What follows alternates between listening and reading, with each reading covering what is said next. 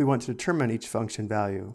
We are given f of x equals 2 times e raised to the power of x plus 2, which means to find f of 1, we substitute 1 for x, which gives us 2 times e raised to the power of 1 plus 2, which is equal to 2 times e cubed. And now we go to the calculator and round to four decimal places. We enter 2, and then second ln, or second natural log, brings up e raised to the power of, and then we enter the exponent of 3, and enter. And we're asked to round to the fourth decimal place.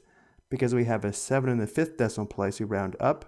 The value is approximately 40.1711.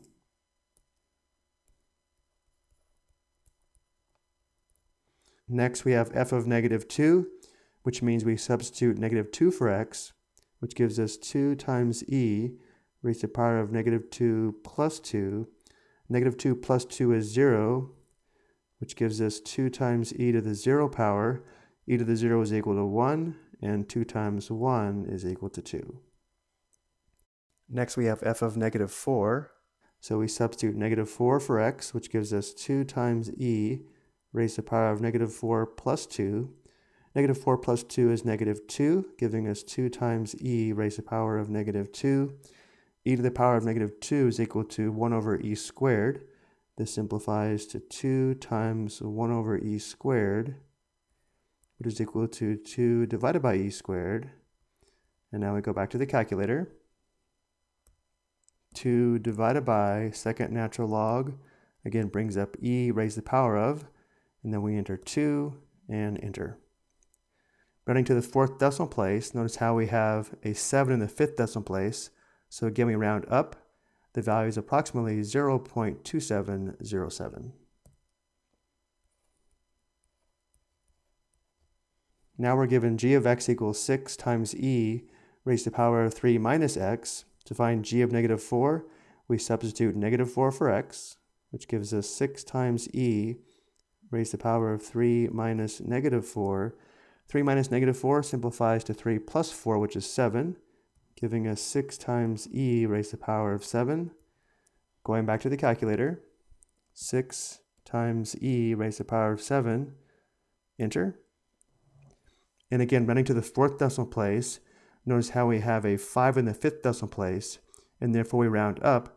But because we have a 9 to the left of the 5, we would change the 9 to a 10, so we keep the 0 in this place value, perform an exchange with the 1, adding the 1 to the 8, and the place value to the left, changing it to a 9, and therefore the value is approximately 6,579.7990.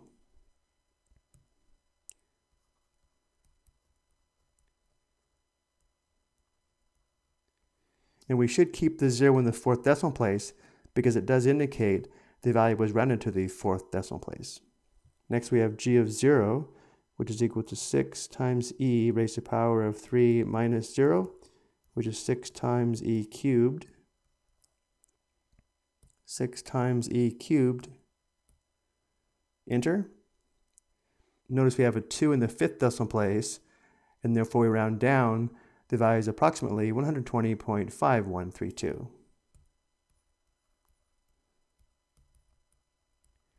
And then finally we have g of 5. G of 5 is equal to 6 times e raised to the power of 3 minus 5. 3 minus 5 is equal to negative 2, giving us 6 times e raised to the power of negative 2, which is equal to 6 times 1 over e squared, which is equal to 6 divided by e squared.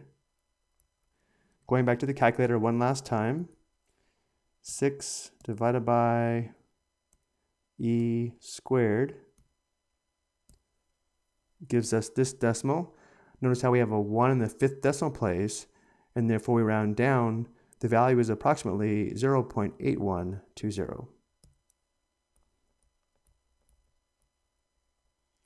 I hope you found this helpful.